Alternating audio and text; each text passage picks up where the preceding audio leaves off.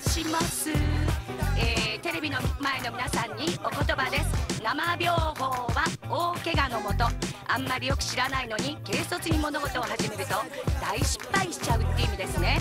ウゴゴルーガも生放送は大怪我のもとってならないように頑張ります。てなことでお気楽極楽。はいよくできました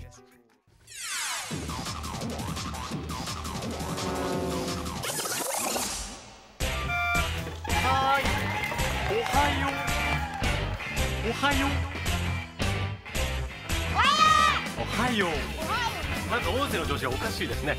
さあ今日は4月5日月曜日。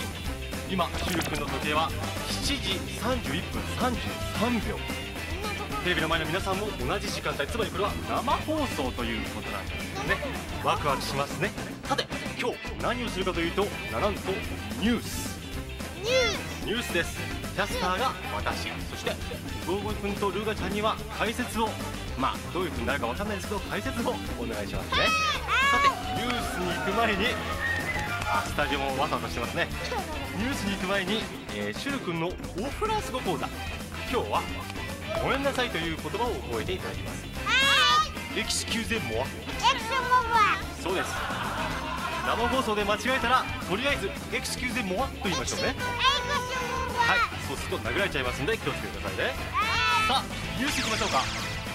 ウェザーフォーマッション。あ日本時間の4日朝からカナダのバンクーバーで開幕した米ロ首脳会談は初日にクリントンアメリカ大統領からエリツィンロシア大統領に総額10億6億ドルの対ロ経済計画が示されたのに続き今日2日は経済保障問題を中心に協議され先ほど共同宣言を発表し 閉幕しました。はあ大変ですね。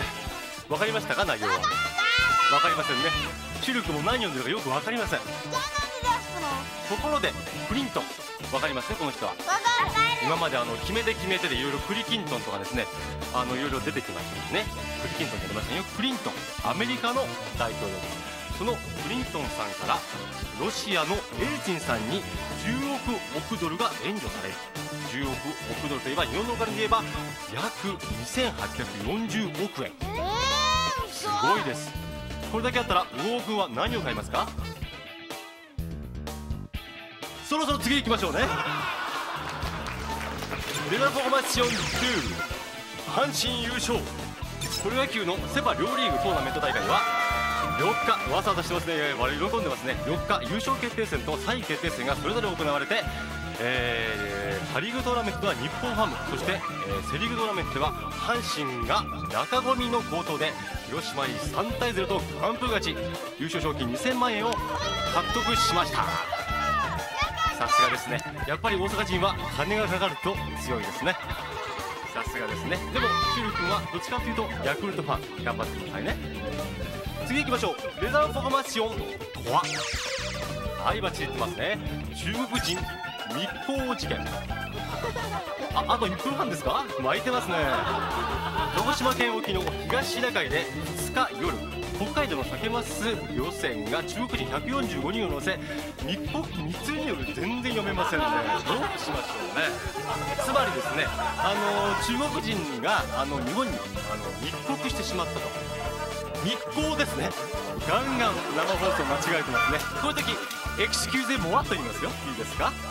つまり、えー密入国ということですよ。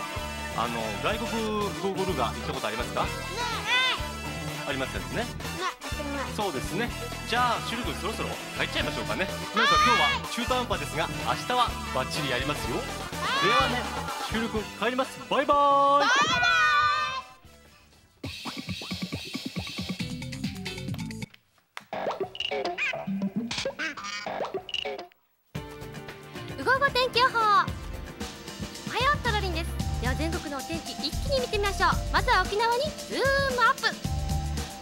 那覇は曇りところにより時々、えー、小雨が降られてきそうですさあ、えー、九州に上陸しますはい。九州は、えー、福岡は晴れカリコ。午前中時々曇りですよ。今度は四国へ行ってみましょう。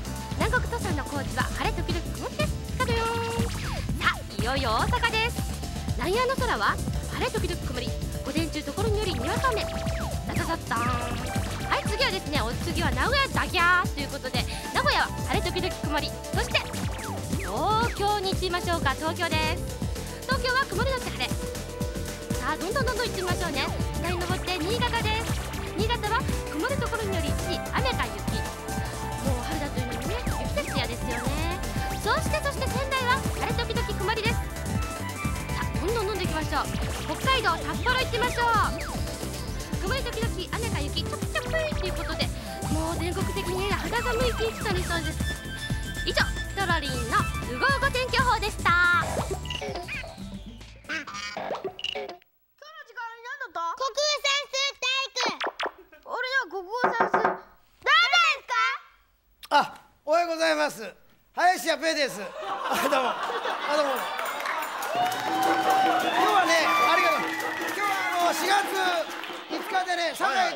の誕生日ね。明日は佐藤義和ですけど。教えておはようございます。細野晴臣です。音の偉い人細野晴臣先生音を出してみよえー今日は音楽のお話をします。えーこれは何だと思いますか？楽器ではないんです。これはバリ島というところの鳥よけですね。ねところが僕はこれは音楽に聞こえます。土地の人はこれは楽器として作ってるわけじゃないから、まあ音が出れば何でも楽器になるということなんですよね。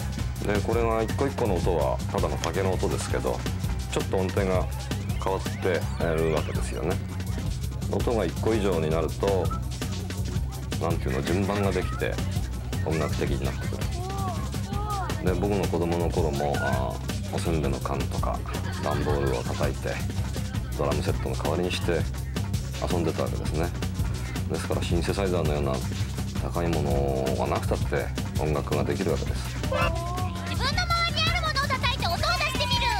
ところが近いって、えー、カンカラを叩くと。あるいは何でもいいんです、うん虫の声を聞くだけでも音楽に聞こえるわけです音楽っていうのはそういう身近なものだということをぜひ覚えておい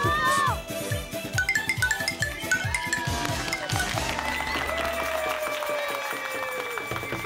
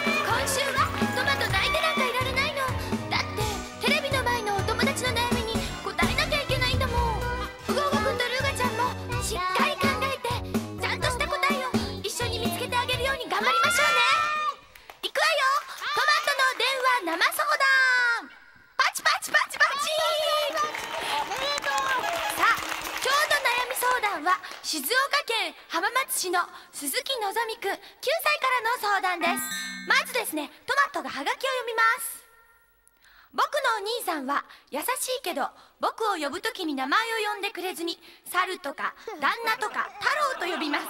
ちゃんと呼んでほしいのでどうしたらいいですか？教えてください！ということなんですがえー、っとのぞみくんいますか？のぞみくん？はい。あどうですか？元気ですか？はい。おはようございます。おはようございます。のぞみくん本当にそんな風に呼ばれてるんですか？あ困っちゃうんです。はい。お兄ちゃんいくつなんですか？と大今度大学2年生です。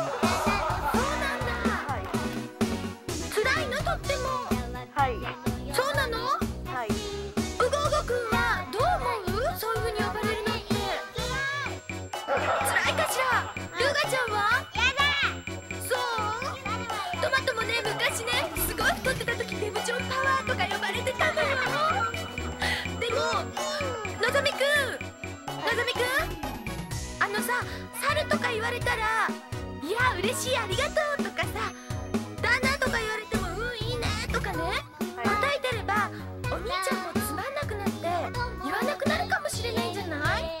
でももうこその言い方が気に入ってるので当分やめないと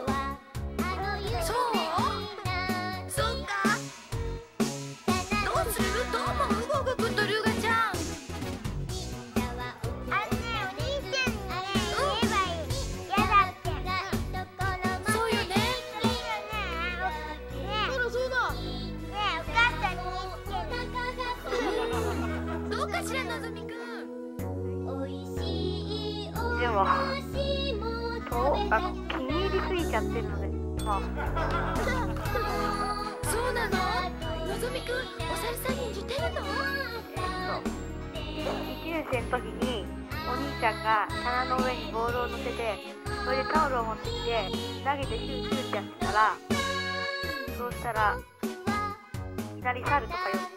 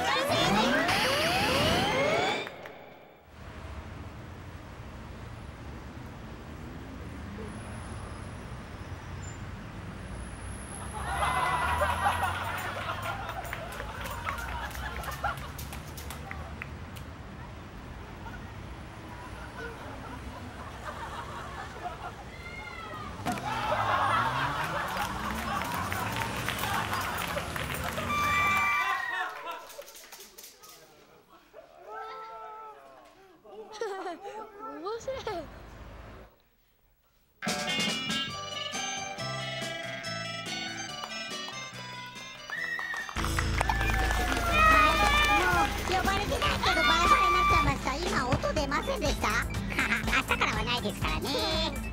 それじゃあね今日から1週間は生放送ってことでテレビの前のみんなが考えたなぞなぞをウゴーゴルーガが答えていきます。いいですか？はーい。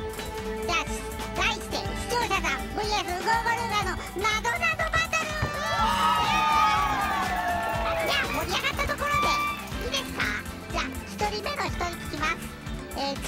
松戸市の石井康友くんの問題です、えー石井くんのハガキには「ともくん」と呼んでくださいって書いてますね。ともくん聞こえてますか？はい。はい。ともくんでいいですか？はい。じゃあともくん問題を言ってください。はい。プロレスをやると強い木って何？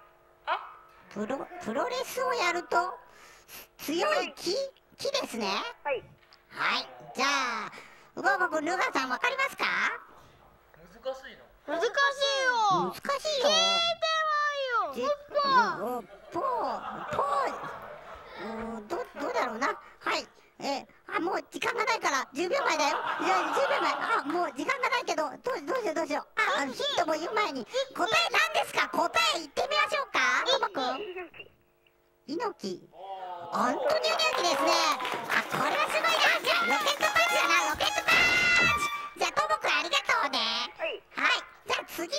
ます。えーと、今度は福岡市南区の林田真美ちゃんの問題です。真美ちゃん、聞こえますか？真美ちゃん。おはようございます。じゃあ問題を言ってください。はいクイズいきます食パンとフランスパンが歩いていましたはい。後ろからはい多いと呼ぶと食パンとフランスパンどっちが振り向いたでしょう？うーん複雑だなフランスパン？どうどうして？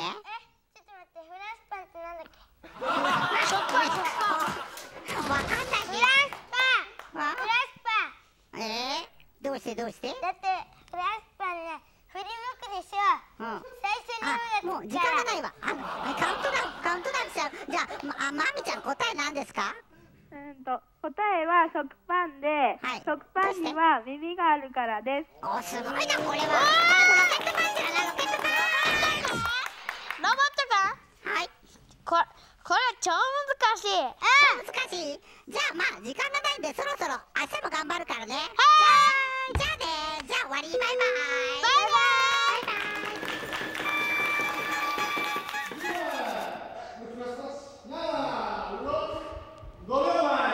いやー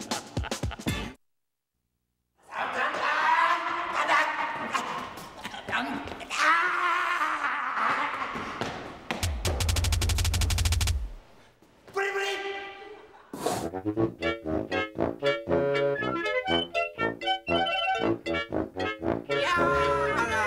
近春になりましたな。私春が来ると函館に行きたなるんですわ。なんでかって？それあの「はるばるギターで函館」はは大爆笑やなこりゃ。じゃあ軽く笑ってもうたところで何の美人漫才師千日前千夏と千秋のお二人です。ほな笑わしてんか。どうぞ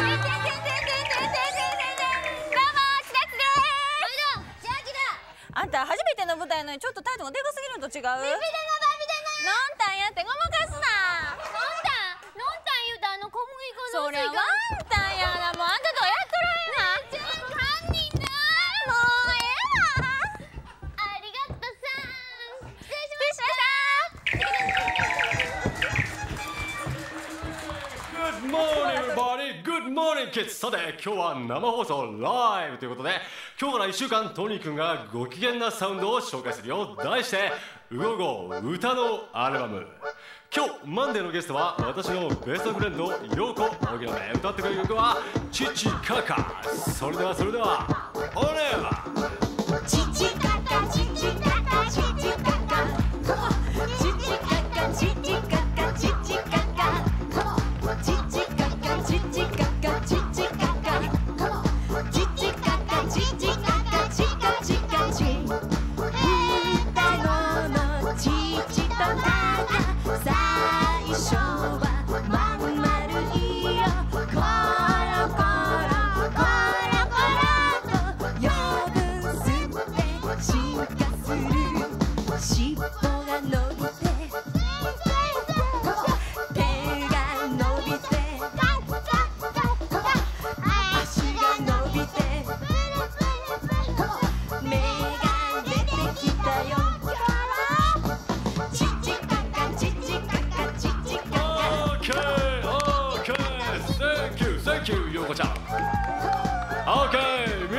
みんな拍手で迎えよう。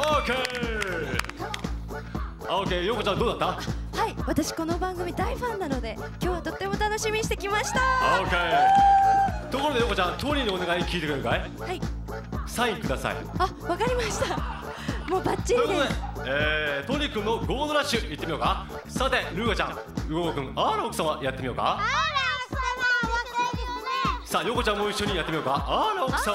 奥様眠いですねそして最後は大笑いだ。大笑いだ。オーケー。Thank you ヨコちゃんということで明日もうごご歌のアルバムお楽しみに。さてさて See you tomorrow. Bye bye. 男たちの宝探し。さあ宝探しだ。掘って掘って掘りまくる。水道管。破裂崩れ Bonjour, alors je vous présente Musée Hugo Hugo.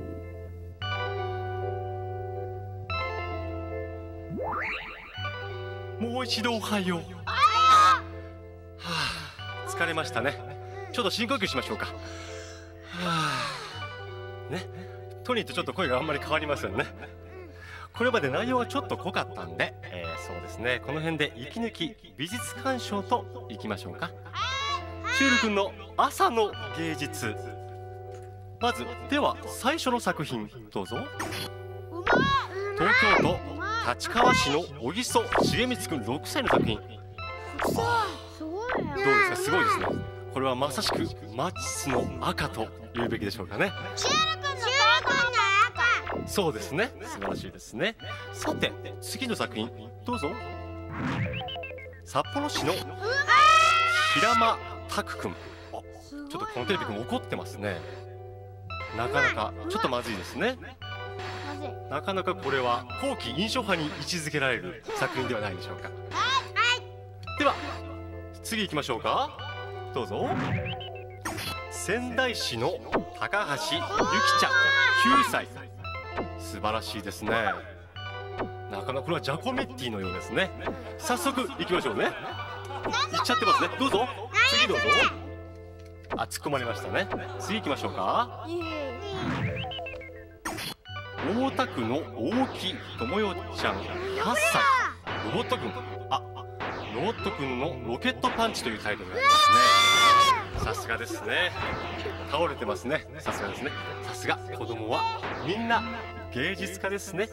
ではシュルくん帰ります。またね。明日ね。バイバーイ。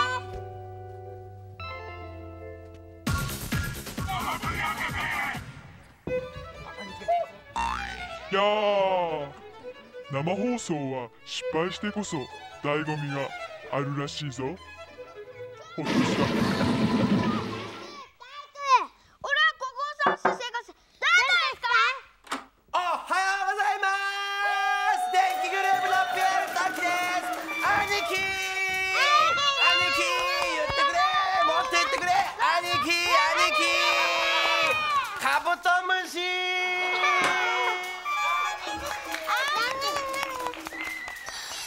てなことで皆さん生放送の「ウゴゴルー」がいかがでしたか？面白かった林家ペイさんとボンチョウサムさんはぜひおぜひ抑えてください。明日もすごいゲストが来ます。じゃあテレビくんはそろそろスタジオに帰ります。あっという間の30分でしたがウゴゴくんとルーナちゃんどうだった？面白かったですか？じゃあ最後にもう一つお言葉を教えます。いいですか？明日は明日の風が吹く。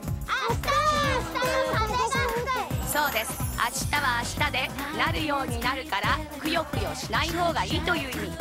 何が起こるかわからない生放送でした、えー、明日も元気よく頑張りましょうね。いいですか？大丈夫？早くしましょうねじゃあ今日も一日達者でな。バイバイ。